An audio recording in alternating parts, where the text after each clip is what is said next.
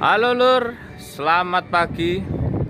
Nah, kali ini mau saya kasih tahu cara pengecekan eh, kebocoran pada floating seal ya, wheel hub semuanya floating seal. Kalau ini di wheel hubnya cek kebocorannya. Jadi untuk ngecek itu kita harus taruh HP di sini ya tahu hmm. taruh HP di sini bisa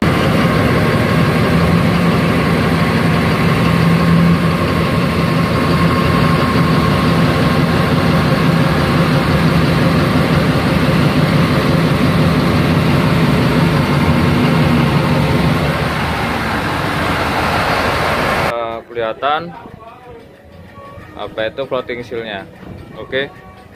Bocor atau tidaknya